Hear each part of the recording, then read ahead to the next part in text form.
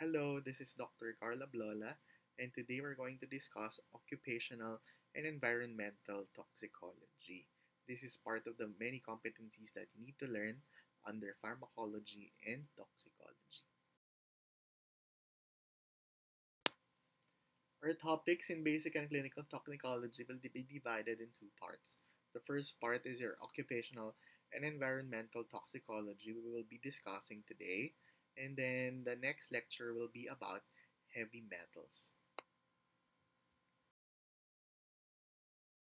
Let's do a little bit of history. As a bitter cold snap gripped London late in 1952, its inhabitants used unusually large quantities of coal to heat their homes.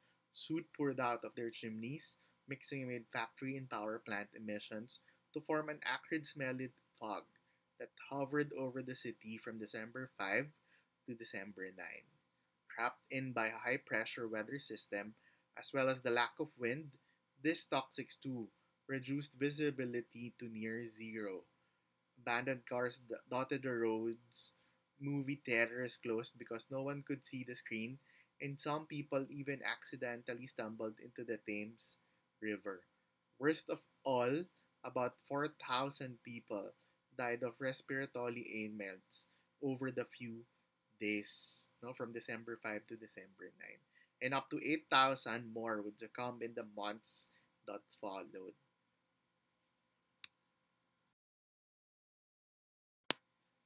So another important historical event in toxicology is your Minamata disease.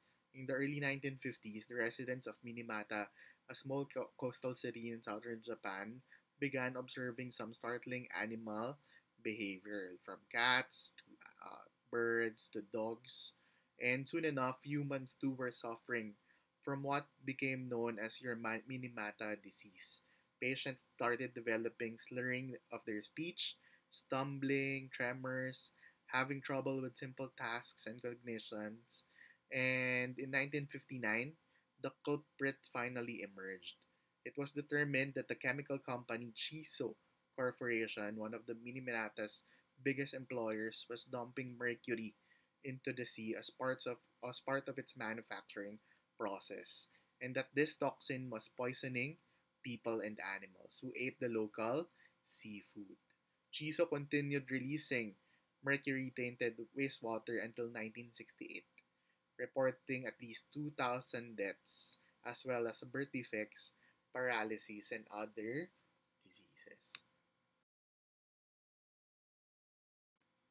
The last that I'm going to show you is one of the most famous events in toxicology, no? The Chernobyl nuclear disaster in 1986. On April 26, a turbine test on one of the reactors at the Chernobyl nuclear power station went wrong, leading to a series of explosions that spewed massive amounts of radioactive material into the atmosphere. The accident, which the Soviet authorities attempted to cover up initially, claimed only 31 lives. Two plant workers who died in the blast, a third who reportedly killed over a heart attack, and 28 first responders who contracted acute radiation syndrome during the frantic early stages of the cleanup. However, Chernobyl also unleashed a thyroid cancer epidemic and likely caused additional cancer cases as well. In 2005, a United Nations backed panel calculated that the eventual toll, death toll is up to 4,000, where other organizations put this number significantly higher. For perhaps centuries to come, an exclusion zone set up around the plant following the forced evacuations of tens of thousands of area residents will be off limits to human habitation. You can see, toxicology plays a very crucial role in the healthcare system of not only of an individual, but a community and a nation. That's why it's very important that you learn these. But before we continue, there are many generalities that I want you to know about toxicology, environmental and occupational. Exposure to chemicals may be through the environment, air, water, soil, food, and of course, occupational. Most common chemicals are those used in households, personal care, consumer products, and those used in agriculture and industry today. These are there are various effects of chemicals depending on the dose, duration of exposure, and vulnerability of the individuals. It may affect the different organ systems, such as CNS or central nervous system, effects on the liver and kidneys, reproductive system, the endocrine, among many other systems. Signs and symptoms for acute chemical poisoning of chemicals may be very nonspecific and may manifest initially as headache, nausea, vomiting, dizziness, irritation of the skins, of the skin, eyes, mucous membrane.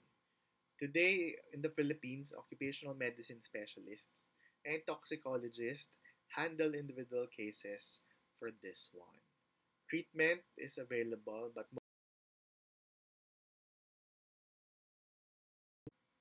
so let's uh, do a little review of what is occupational toxicology. When we say occupational, it means work. So in this area of toxicology, we deal with chemicals found in the workplace where workers are exposed. Occupational toxicology and occupational medicine specialists are responsible for the following identification of the agents no or the hazards acute and chronic diseases uh, that it gives no conditions that warrant the use of these agents safely preventive measures and policies that we can institute treatment of this disease and of course follow up and surveillance for all those workers exposed to the agents. This was set into law when in RA 11058, no? You can read that uh, in, over the internet. And this set occupational safety and health standards for the Philippines.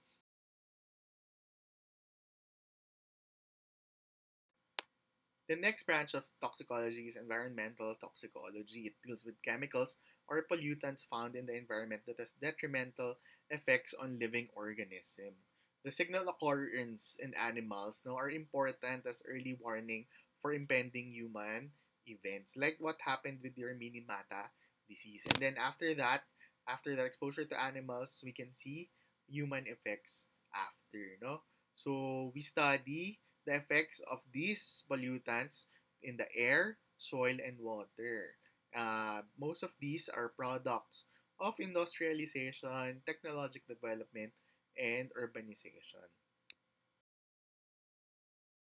So let's define hazard and risk. Now, most people are confused between the two, and you need to know the difference uh, between them. Now, and ha- a hazard, uh, in the most simplest term, it is uh, something that can potentially cause harm. No, so it's an agent, whether it's a physical, chemical agent, no, that can cause injury, disease in a given situation or setting. The risk, on the other hand, is a product of the hazard and the exposure of the individual. So it's the expected frequency of the occurrence of an undesirable effect arising from exposure to a hazard or a chemical or physical agent.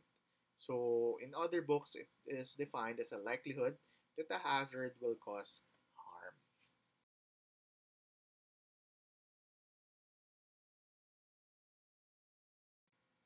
So, let's identify the hazard and the risk in this picture. No? So, this man is trying to cross a highway. And what do you think is the hazard here? So, the hazard in this picture are probably the cars, no? The agent that may cause potential harm.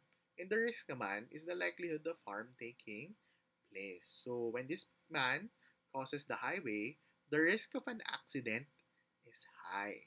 When the man is crossing a country road, the risk of an accident is low. So you need to differentiate and delineate that two very well. So let's help me identify what is the hazard and what are the risks, no, for this photo. So there's a, a scorching hot sun. There's two men in the beach under the scorching hot sun. The sun poses a hazard for the two.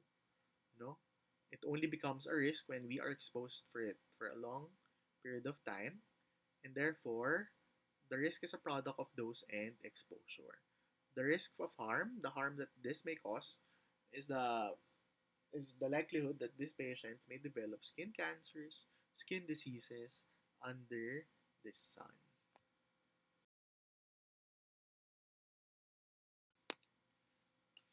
So, in the workplace or in the occupational toxicology or in the industry, the common routes are inhalational and transdermal route. No, they're very common. Uh, however, um, oral they still happen, but not as common as inhalational and transdermal. Uh, usually, the common cases of oral are mixed up, no, with some bottles. Sometimes they are placed in mineral water bottles. Yung pala, Clorox pala, no? So, sometimes those are the cases. And the environmental, because of bioaccumulation, no? Uh, water and soil pollutants are absorbed usually in through inhalational ingestion and transdermal. Now, all of them are common. Exposure to toxic substance that is absorbed by the target human or animal results in a dose of the chemical or toxic substance. Quantity, duration, intensity plays a very important role for these patients. No, acute exposure; those are single exposure or multiple exposure over a brief period of time, like cases of accidental discharges.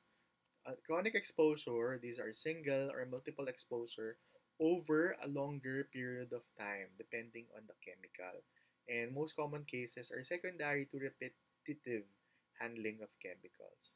Please take note that intense, rapidly absorbed acute doses of substances that may be detoxified in small amounts can overwhelm the metabolic functions or biotransformative properties of the person and therefore produce serious or fatal toxicity. The same amount, when absorbed slowly, may result to little or no toxicity. So,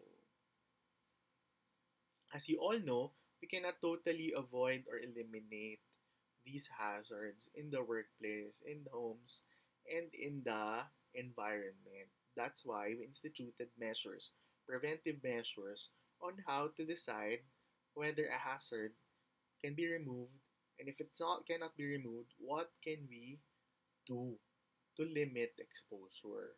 So this is what we call hierarchy of controls. The topmost are the most effective control measures and the least effective are your lowest, no?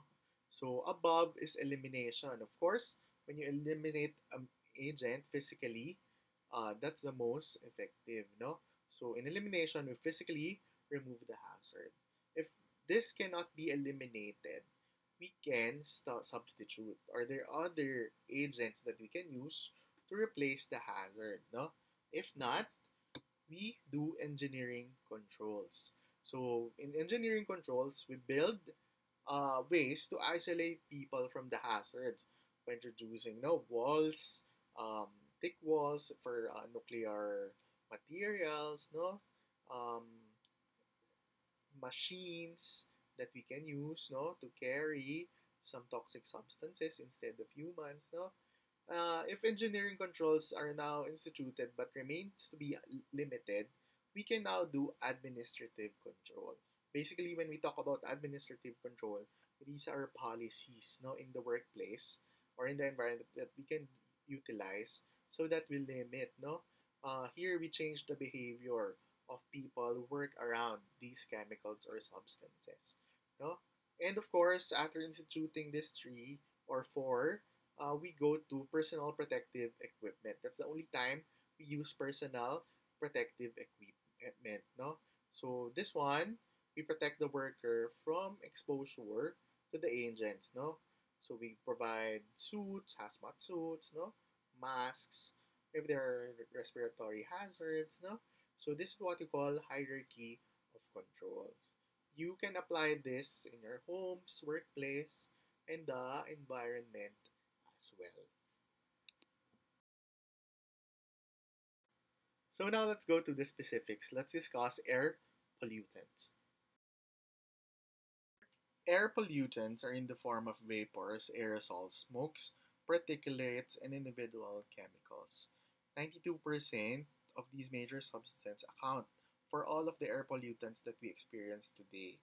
52% of those are carbon monoxide, 14% are sulfur oxides, 14 another 14% is hydrocarbons, and another 14 is nitrogen products. And the last 4% are your ozone and ozone derivatives. The first air pollutant that we're going to discuss are your carbon monoxide. It's a colorless, tasteless, odorless, and non-irritating gas. It is a byproduct of incomplete combustion, and the common sources are unvented kerosene and gas, gas-based heaters, leaking chimneys, furnaces, backdrafting from furnaces, gas water heaters, wood stoves, fireplaces, gas stoves, generators, and other gasoline-powered equipment. Automobile exhaust, no? Is the most famous, no, source of carbon monoxide, especially from attached garages, no, and tobacco smoking. It's easily inhaled and absorbed through the lungs. Exposure may be acute or chronic, and it has been proven that this has teratogenic potential. So you probably heard of this carbon monoxide poisoning inside the car. Some patients are brought to the hospital, no, almost dead because of carbon monoxide poisoning. How does it happen in the car? The internal combustion engine produces a lot of toxic gases which is disposed of through the exhaust system of the vehicle. The most common way of carbon monoxide poisoning is when the, when the car's aircon system is on and it is parked in a garage or space with very limited air movement. The car's intake pulls in the air which is mixed with the exhaust gases. The carbon monoxide, remember, is odorless and colorless. Therefore, it goes undetect- undetected by the humans and slowly kills the occupants of the car. So this is another case of carbon monoxide poisoning in the car. Now people leave the car on, so the heater is on. The couple or the people inside are trapped in the car during a snowstorm overnight. They won't feel it. They won't uh, smell it until they start developing symptoms. No. So at the biochemical level, what happens na kaya to these patients? So this is a graphic representation of sources of carbon monoxide inside a home. No? So as much as possible, you avoid these things, no? Or you maintain them very well. Like for example, cars left running in attached garages, no? So that's a no-no. Clogged chimneys, of course, that's not a problem here in the Philippines. Corroded or disconnected water heater, vent pipe, no? You should always maintain your water heater gas or wood burning fireplaces, cracked or loose furnace exchanger, uh, improperly installed kitchen range or vent, operating a grill indoors or in garage, and portable kerosene or gas heaters. So what is the mechanism of action for this? No? So as you all know, the hemoglobin carries oxygen no, from the lungs to the tissues. What happens is the oxygen binding site of this hemoglobin gets mixed up with carbon monoxide. And carbon monoxide tides bindly but uh, reversibly with the with those sites. Therefore, these RBCs or hemoglobins are not available for binding any more of oxygen. No? Eventually, as it continues, no more hemoglobin are available for oxygen exchange. No? So the product formed with this reaction is called carboxyhemoglobin. Carbon monoxide has affinity of about 220 times that of oxygen in those binding sites. You see how tight it is, almost irreversible. But it's, it is reversible. That's a common misconception here. It's reversible, but it only bindly, tight, tightly binds, no? So the reduced oxygen transfer to the tissues is the deleterious effect of this. It's almost it almost affects uh, almost all organs are affected, and usually The first ones are the highest oxygen demand organs like your brain, heart, and kidneys. So this one is the graphic representation of that mechanism of action. So to your left is an hemoglobin with attached oxygen no molecules in the in their oxygen binding sites no? In upon introduction of carbon monoxide in the body it uh, the carbon monoxide binds very tightly to the hemoglobin. And therefore oxygen and carbon dioxide can no longer be carried in and out of the body. So that's a very important concept here in carbon monoxide poisoning. And after this, you can deduce what kind of symptoms do you expect no, from low oxygen in the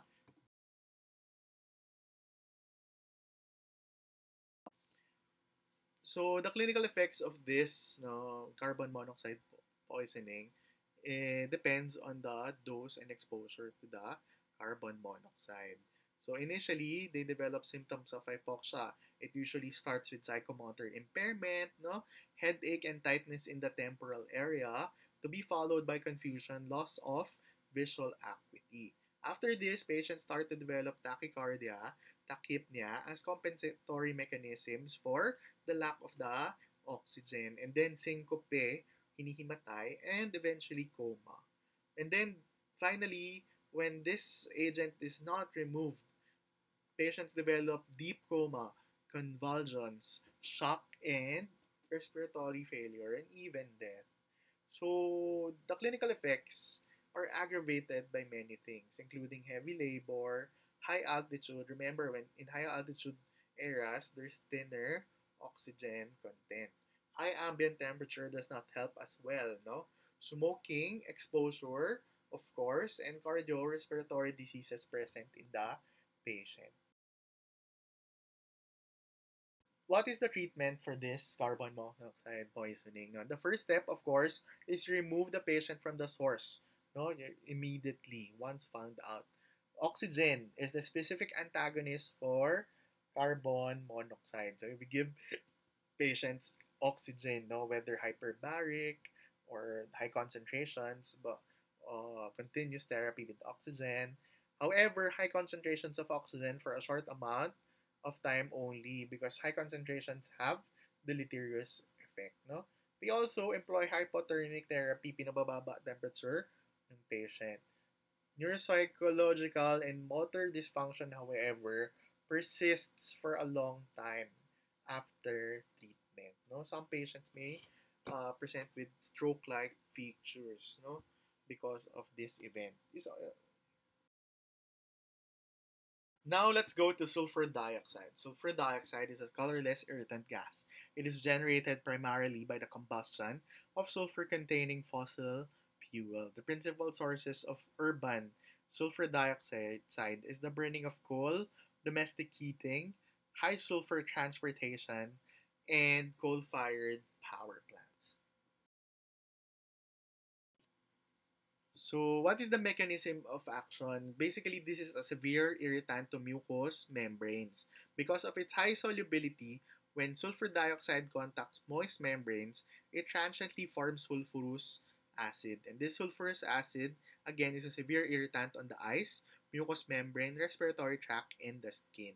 90% of inhaled form is absorbed in the upper respiratory tract infection, causing what you call an acute irritant asthma. No? The phenomenon of adapting to these irritating concentrations has been reported in workers. However, evidence remain to be limited.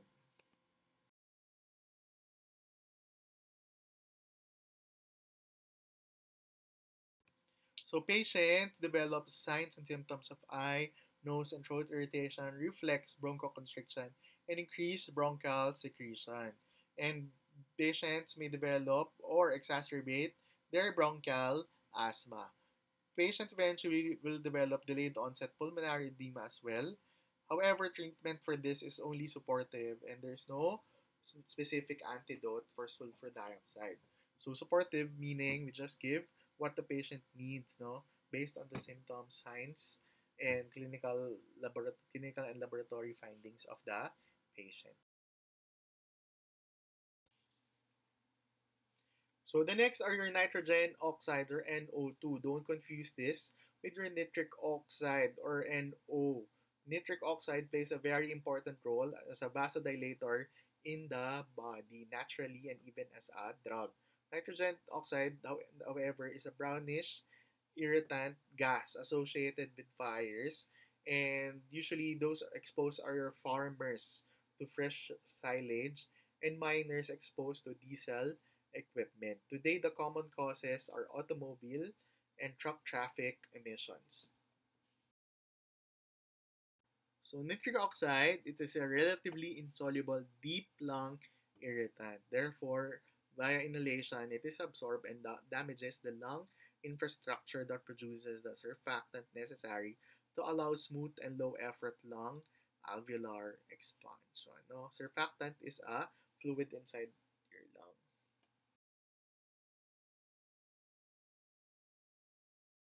It is associated with silo filler's disease, but you'd see this rarely now, no? Non-allergic asthma and twitchy airway disease. In the acute form, these patients develop irritation of eyes and nose, cough, mucoid or frothy sputum production, dyspnea and chest pain, pulmonary edema, fibrotic destruction of terminal bronchioles or the common pathophysiologies. Chronic, patients start developing emphysematous changes. The treatment again is supportive and non-specific. Ozone and other oxides are bluish irritant gas naturally found in the Earth's atmosphere, produced primarily when the fossil fuels are burned or when some chemicals evaporate. Usually the source for us is that those that are emitted in power plants, motor vehicles, and other sources of high heat compounds. Ozone in the workplace is generally by high voltage electrical equipment and around ozone producing devices like air and water purification systems. Ozone is also found in agriculture. Mechanism of action of ozone, it's an irritant of mucous membranes. It produces upper respiratory tract irritation up to deep lung irritation as well with pulmonary edema. It is also associated with the formation of reactive free radicals. Patients develop shallow rapid breathing and decrease in the pulmonary compliance. When you say pulmonary compliance, the ability of the lungs to expand and flatten during inhalation and exhalation. No? So it is decreased. Acute, uh, it's irritation, dryness to throat, changes to visual acuity, substernal pain, and dyspnea, and sometimes acute respiratory distress syndrome or ARDS. In the chronic phase, patients develop emphysematous changes like chronic bronchitis and bronchiolitis. The treatment again is supportive and non-specific. Next, let's go to solvents. Some can be found in your household, some in the industry or the workplace, and some in the environment as well. The solvents that we are discussing are divided into two groups, the halogenated aliphatic hydrocarbons and the aromatic hydrocarbons. So the first group of uh, solvents that we're going to discuss are halogenated aliphatic hydrocarbons, also called as halohydrocarbons. It's once found in industrial solvents, degreasing agents, and cleaning agents. It is divided into five groups. Are carbon tetrachloride, trichloroethylene, chloroform, tetrachloroethylene, and 111-trichloroethane. Most are classified as known or probable human carcinogens, or therefore, some of them are already removed from the workplace, like your carbon, tetrachloride, and trichloroethylene. However, trichloroethylene and carbon tetrachloride remains to be in use as dry cleaning agents and solvent degreasing agents. Freon, a fluorinated aliphatic, cause severe damage in the ozone layer in the troposphere. That's one of the reasons why it's already limited or banned to be used in other countries. No, the good news is that new air conditioning systems made since 2010 no longer rely on Freon. Most newer air conditioning units are now using a refrigerant called R4, R410A or Puron. This chemical is a hydrofluorocarbon, what has been shown not to harm the ozone layer. Since 2015, has become the standard for residential air conditioning. So by 2020, this year, we expect that the, the Freon will now be totally banned. So all the air conditioning units will now will not be able to maintain them anymore. So you have to replace your aircon So what are the clinical effects of these halogenated aliphatic hydrocarbons? They are known or probable human carcinogens as mentioned. Some of them are associated with renal, prostate, and testicular cancer. Also associated with CNS depression, kidney injury, liver injury, cardiotoxicity to a certain extent, like arrhythmia. Chronic exposure in the workplace may, may impair memory and produce peripheral neuropathy. The treatment is again supportive and non-specific. The next class of solvents that we're going to discuss are aromatic hydrocarbons, or benzene, toluene, and xylene.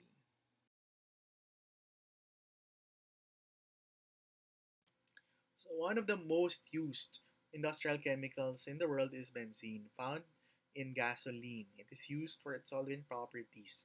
Initially, patients develop CNS depression, nausea, and at a certain dose, euphoria, locomotor problems, and coma. Some patients also report vertigo, drowsiness, and headache. The chronic exposure is due to the fact that this benzene targets pluripotent bone marrow stem cells, therefore causing injury in the long run. Patients start developing aplastic anemia, leukopenia, pancytopenia, and thrombocytopenia. And this is a potent clastogen as well. When we say clastogen, it is a mutagen that acts by causing chromosomal breakage. The treatment for this is supportive and non-specific. So the next is your toluene, also known as methylbenzene, a derivative of benzene.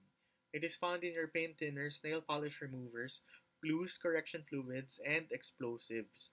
Unlike benzene, it has no myelotoxic properties. However, uh, the acute phase, patients develop CNS depression, skin and eye irritation, and it has proven to be phytotoxic and has teratogenic effect. It is also associated with rapid loss of consciousness no, when given in a large dose, severe fatigue, and ataxia. So the next is xylene, also known as dimethyl benzene. It's a colorless, sweet-smelling agent. It is a substitute for benzene in solvent degreasing operations. Like your toluene, it has no myelotoxic properties. However, again, it is also a CNS depressant and a skin irritant. Now let's go to pesticides. We're going to be focusing on three organochlorine, organophosphorus, and carbamate pesticides.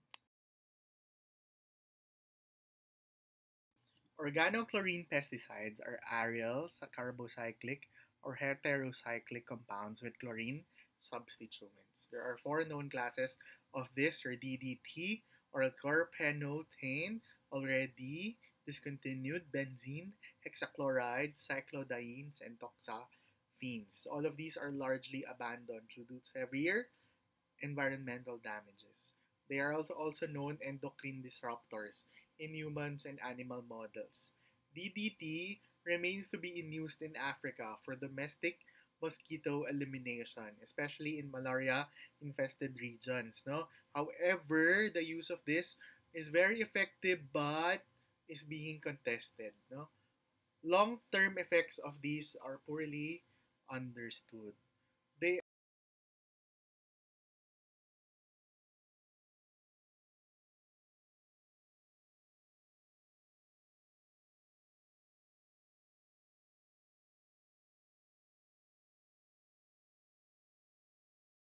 Here are the organochlorine pesticides, their chemical class and compounds belonging to those classes.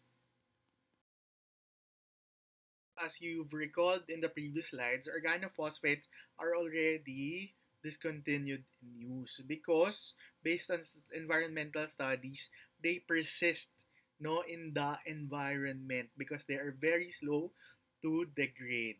So therefore bioaccumulation happens, no? And what is the concept of bioaccumulation? So organochlorine pesticides no persist in air, water and soil sediment and therefore in the air it can be transported and then back to the soil and it will leach back into the groundwater. Adding insult to the injury is the volatilization from water and then the rain, no? And therefore, they are discharged through flow, flow networks and back to the to the fishes of the sea. And then the biota, whether they are land or in the sea or in the water, takes up this organochlorine pesticides and they continue to persist in nature and environment and back to us humans. So this idea of bioaccumulation and persistence in nature uh, made us decide that to discontinue the use of those pesticides.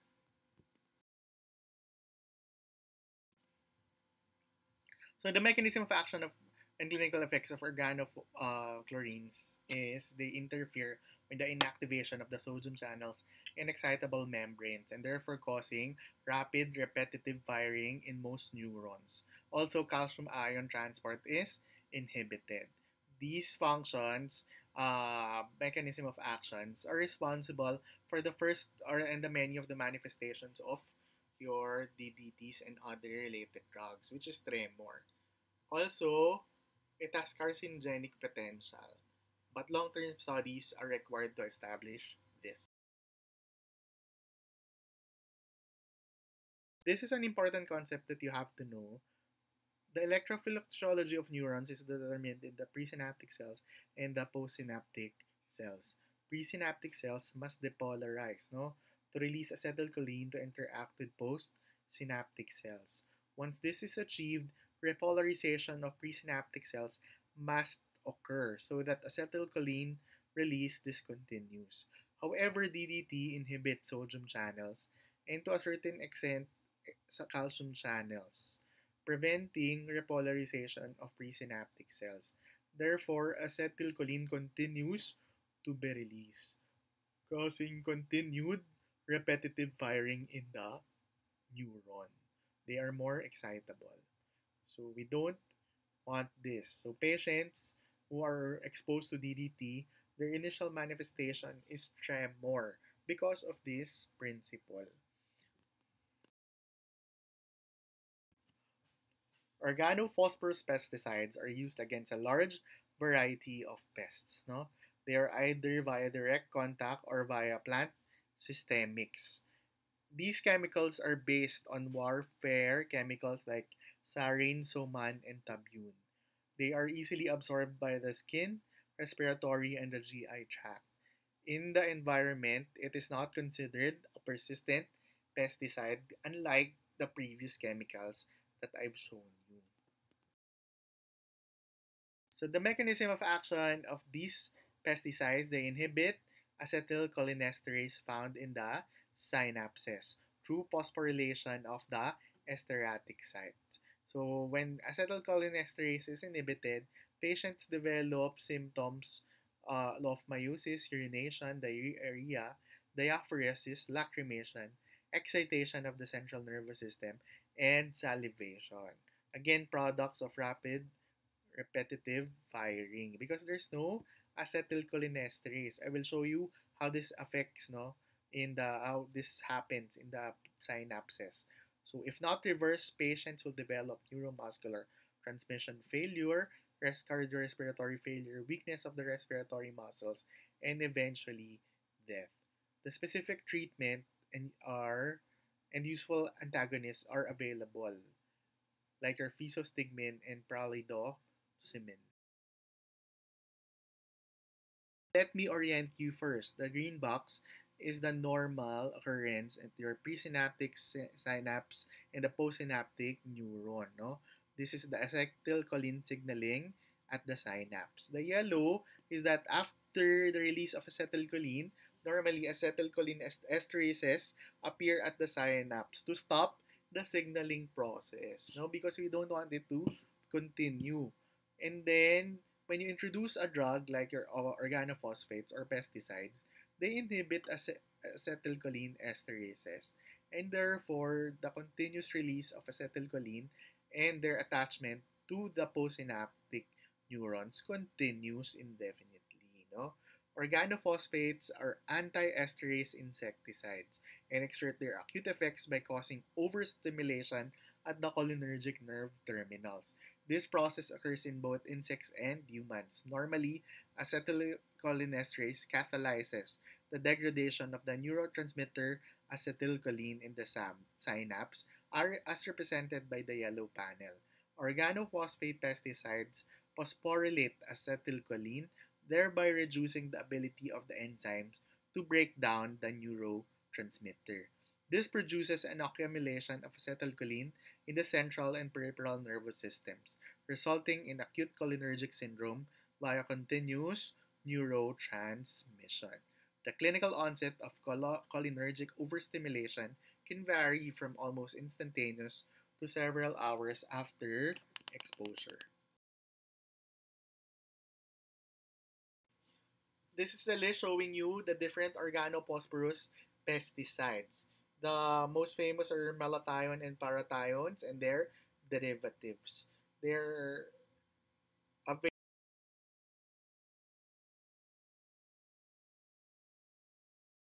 Carbamate pesticides, they inhibit again acetylcholinesterase like your previous pesticides. However, they are done by carbamoylation of the esteratic site. They share toxic properties with organophosphorus because of this mechanism of action. However, the difference is that the binding is relatively weak and dissociation occurs after minutes to hours. Of course, even then, patients still de- develop symptoms. No? Treatment or similar clinical approach to organophosphates. However, prolidixamine is not recommended for these cases. This is your carbamate pesticides list. So these are examples of PELs or permissible exposure limit values of subcommon air pollutants and solvents in parts per million. So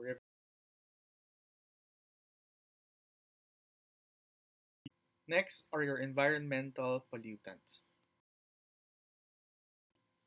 So in environmental pollutants, we're going to discuss four items, polychlorinated and polybrominated biphenyls, perfluorinated compounds, endocrine disruptors, and asbestos. Polychlorinated and polybrominated biphenyls are highly halogenated biphenyl compounds. They are used for insulation and fire retardancy. Moss production resulted in enormous environmental problems. It is very toxic and now banned for use. Food is the major source of PCB residues in humans. Potent endocrine disruptors as well, and they are very highly likely to produce teratogenic effects in animal studies and reproductive problems as well. They persist in the environment.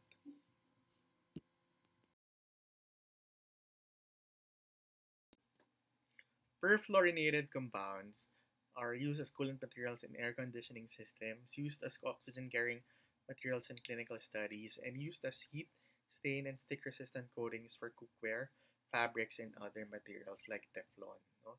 It had deleterious effect in the ozone layer of the atmosphere, and it is considered a persistent environmental chemical, limiting their use. Now, these perfluorinated compounds are actually banned, no? So, because of their impact in the biosystems.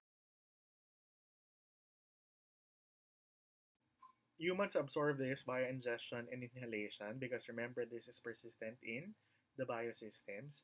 Human half-life is usually 3 years when absorbed. It is a potent endocrine disruptor.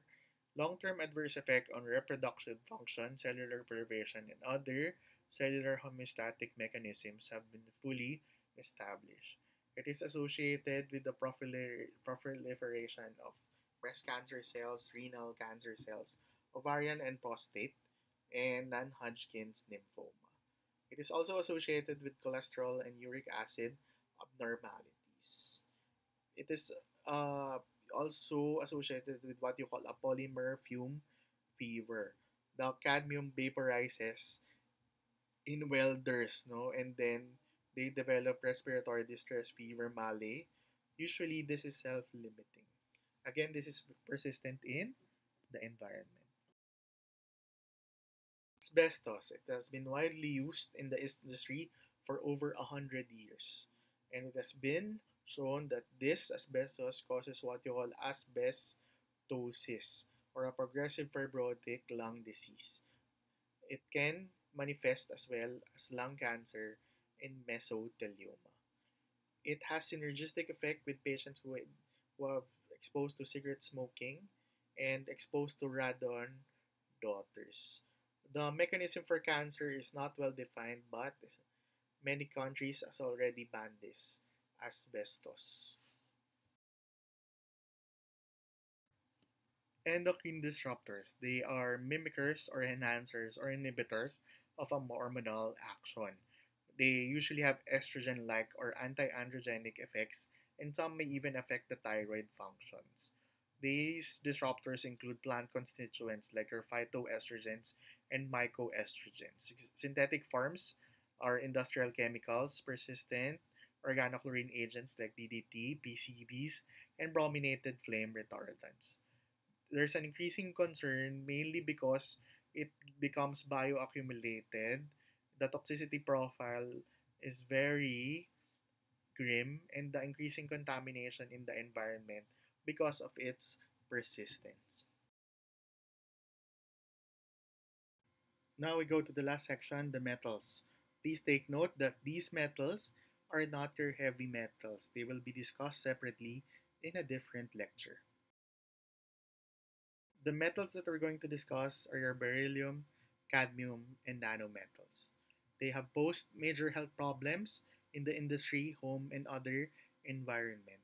Occupational exposure and poisoning due to these are relatively new problems in medicine. In 2016, we've discovered that cobalt is also considered a human carcinogen. Again, please take note that heavy metals will be discussed in a different chapter. Beryllium is a light alkaline metal found in ceramics, alloys, computers, dental equipment, devices that require hardening, like mi- missile ceramic nose cones and heat shield tiles in space vehicles. Inhalational route is the most common route, it is a known human carcinogen class 1. It causes what you call acute beryllium disease and chronic beryllium disease. It is characterized by progressive pulmonary fibrosis, more so on the chronic phase.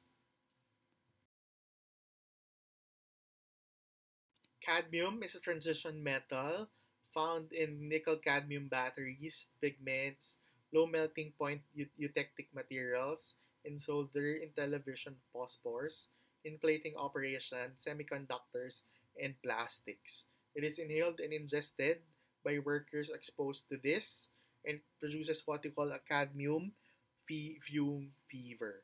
Usually welders presenting with shaking chills, cough fever, and body malaise are the most common patients presenting with this. Chronic exposure may lead to progressive pulmonary fibrosis and renal failure. And this one is also a human carcinogen class 1.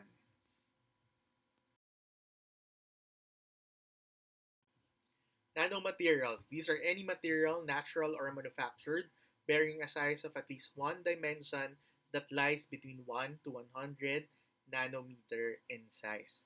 They play increasing roles in the industry today. They may be gold, silver, cadmium, ceramic, aluminum oxide nanowires, carbon, silicon, germanium nanotubes, zinc oxide nanocrystal, gold nano wafers, and copper oxide nanocubes. The toxicology profile is fairly new and novel, and the increasing production led to environmental contamination. The toxicology profile of these nanomaterials, based on assumption, may be the same as your large metals or may be different as well. Nanomaterials are usually taken up via inhalation, oral, dermal, and parenteral. The assumed toxicity may be both similar and different, as mentioned, from the larger bulk or bulk materials. They can cause the cellular membrane and penetrate nuclear material and genetic information. Some established nanomaterial side effects are your inosilica kidney toxicity, for zinc oxide hepatocellular damage, multi-walled carbon nanotube are very cytotoxic in humans. Titanium dioxide, the one found in sunscreens and sunblocks, are toxic to lungs and other organs when ingested.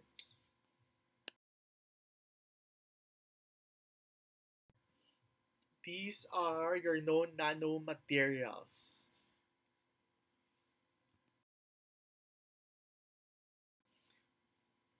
So this is the classification system we use for an object, an item, or an agent, whether they have direct carcinogenic effects to humans or not.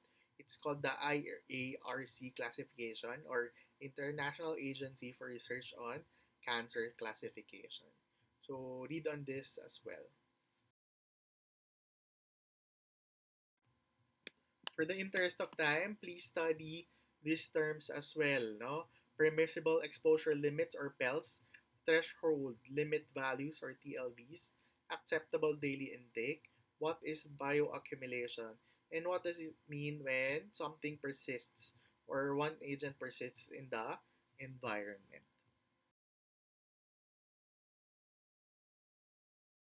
So for questions or concerns, you may reach me at my Twitter account at Carl Ablola and email kcablola at ust.edu.ph.